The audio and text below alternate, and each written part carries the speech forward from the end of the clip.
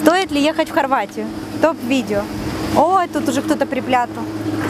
Так, а мы находимся на маленьком мысике, на маленькой каменистой такой выемке, которая водичка Мам, делала в смотри, бухточке, какие большие. средней Далмации. Мам, смотри, Ой, давай, выходи сюда. Камень. Выходи сюда, поснимай. Вот наше продолжение нашего пляжа. Стоит ли ехать в Хорватию? Конечно, стоит. Посмотрите, какая красота. Давай ручку. Давай ручку. Давай. Осторожно. Посмотри, как плескаются волны. Какая красота. Сколько рыб, какие крабы морские ежи. Конечно, стоит ехать в Хорватию. Хорватия это чудесная страна. Э, Страна чудесная в летний сезон, также и в зимний. Очень приятный климат. Э, Курортный сезон с мая по октябрь месяц. Э, Южнее, конечно, в Дубровнике, это уже май месяц, прогревается вода и можно э, купаться. Вот.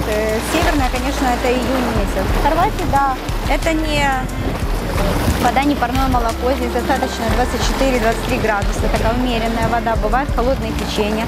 Но вода из-за этого за счет этого кристально просто чистая. Э, Море волшебное, ну море просто волшебное. Море очень соленое, очень чувствуется насыщение йода. Э, Загораешь в секунду просто, день-два и ты уже с загаром. Э, После посещения Хорватии мы вообще не болеем ангинами, вообще, я уже заметила. А Вот, несмотря на то, что вот если мы бываем на Черном море, то мы оздоравливаемся, но э, вот я по сыну сужу, ангина у нас раз в год все равно есть. Ну, так, такое небольшое замечание. Очень вкусные морепродукты, естественно, рыба. Каждый вечер вот можно зайти и пострелять из оружия и поймать белую рыбу. Ее разрешается ловить и пожарить. Ну, либо на all-inclusive. Но all На inclusive подносе, всегда на подносе белая рыба. Я к тому, что говорю, она есть всегда, она мясистая, без... э, Ваня, Ваня, Ваня, осторожно, не подходи. Без, без такого количества косточек, очень вкусная. Сардиночка. В общем, морепродукты, естественно, в любой э, стране, которая связана с морем, всегда вкусные. Но здесь они, ну вот, очень вкусная рыба, очень.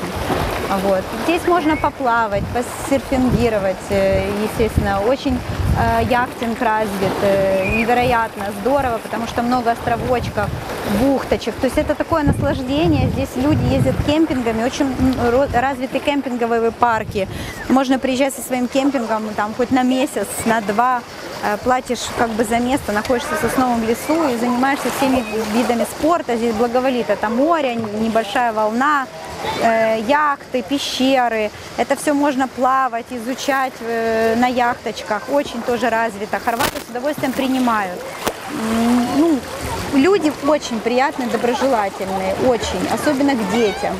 Э, Достаточно щедры. Детей любят до такой степени, ну, очень любят детей, боготворят. Это ощущается с первых дней, как только ты вот выходишь либо в аэропорту, либо пересекаешь границу. Дети это все, это все.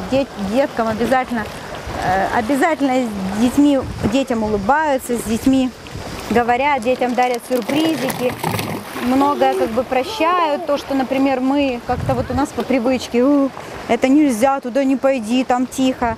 А Вот. э, У них какая-то вот такая, э, к детям поучиться надо, доброжелательность, именно с любовью, не распущенность и вседозволенность. Нет, они э, достаточно строгий тоже так наблюдала на пляжах. Просто вот какая-то любовь такая невероятная к детям.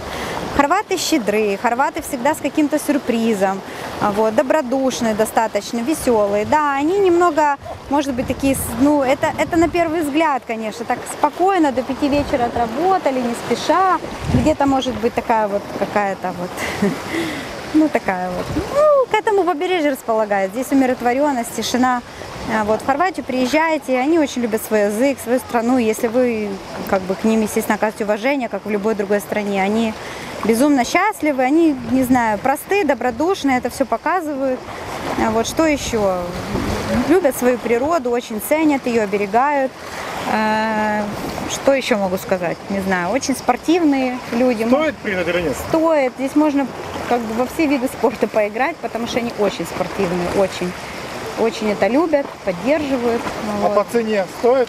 По цене, ну, конечно, по цене будет дороговато, потому что это Европа, это уже Евросоюз, и море здесь очень хорошее.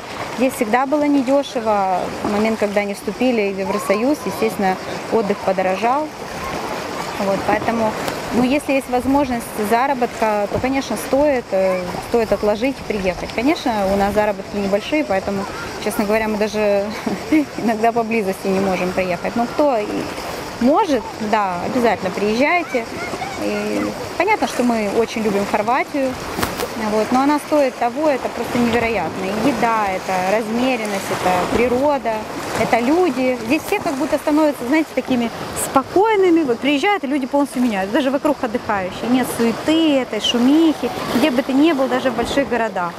Потом невероятное же количество древнегреческих городков. Приятно гулять, сидеть в кафе, болтать. Ну, в общем, я могу петь дифирамбы. В Хорватию приезжайте, приезжайте и летом, и зимой. Здесь очень много мест, которые можно посетить, посмотреть. А мы наслаждаемся морем. Вот наш пляжик. Вот, посмотрите, все хвойное. Там стоит кемпинг, может, пройдемся, поснимаем. Здесь вот такая бухточка у нас. Всего хорошего. Напротив остров Брач. Пока.